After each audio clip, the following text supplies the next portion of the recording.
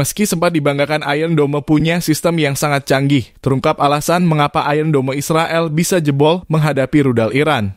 Serangan pada Selasa 1 Oktober 2024 itu sekaligus menjawab bahwa Iron Dome Israel bisa dengan mudah ditembus. Iron Dome tidak secara optimal bisa menangkal rudal balistik Iran karena daya jangkauan rudal Iran hingga 2000 km.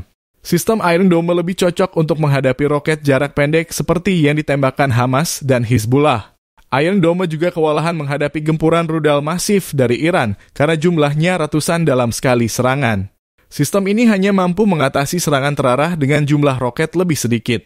Serangan ratusan rudal Iran ke Israel, khususnya Tel Aviv dan Yerusalem, berlangsung sekitar 15 menit. Sistem Iron Dome dirancang untuk mencegat rudal atau roket musuh dalam 10 hingga 30 detik.